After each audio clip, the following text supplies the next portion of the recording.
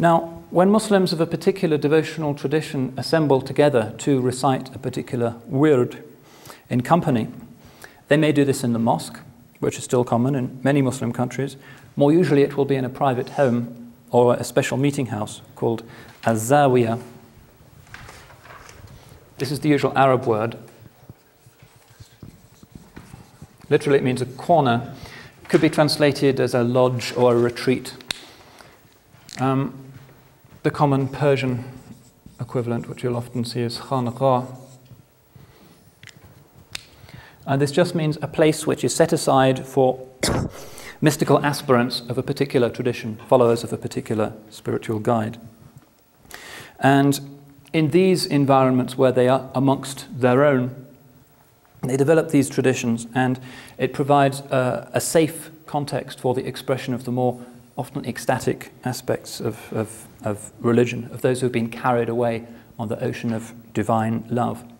If you've looked at some of the uh, medieval Persian miniatures, which have um, facsimiles in the library here, you'll see that very often medieval Muslim mystics are standing up and um, in apparently ecstatic postures. When you see the real thing, it's not a kind of um, uncontrollable bubbling over.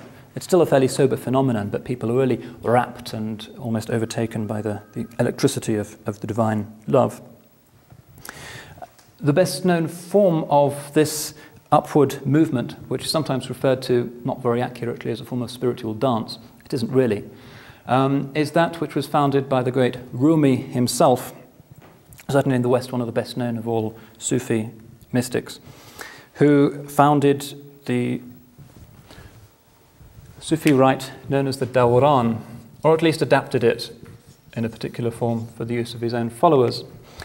Um, Occasionally, members of Rumi, Rumi's order, which is known as the Mevleviya, visit the West, and it's possible to see um, ceremonial public performances of this rite, which is actually very beautiful. These are the people referred to in, say, Victorian European literature as the whirling dervishes. In fact, they don't whirl at all, they move around in a very slow and dignified way. And the person who is doing this wears a long white robe, a long beige felt cap, and he will hold up his right hand like this, which is to receive the mercy from heaven, and holds his left hand down like this, which is to distribute it to earth. So he is the representative of man in this sense of, of pontifex as bridge builder, as, as khalifa between heaven and earth. And as he does this, he turns around, which mirrors the, the turning movement which exists in the cosmos generally, and also calls to mind the, the ecstasy of the saint.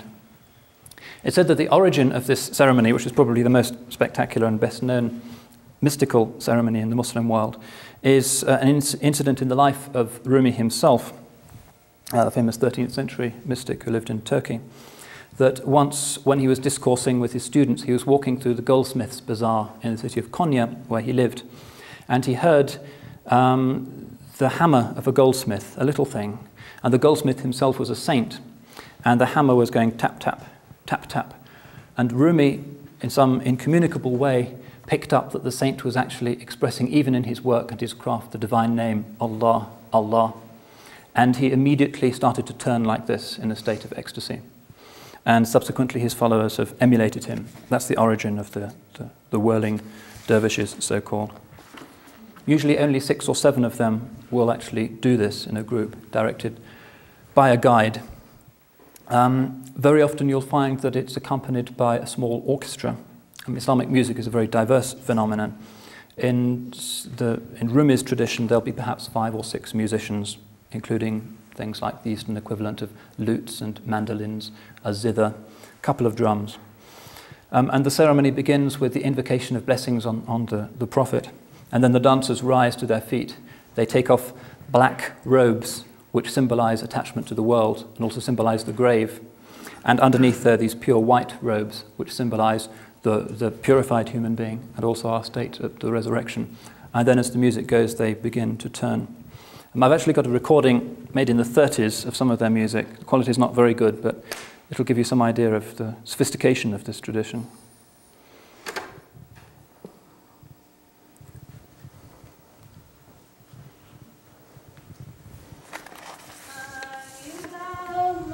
It's actually after this. I'll play you this one first.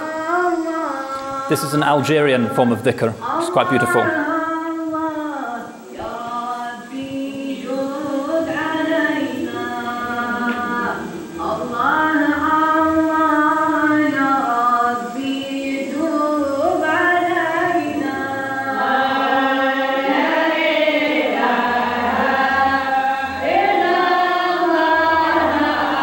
Is very characteristic of what you'll hear in one of these zawiyas, a Sufi lodge.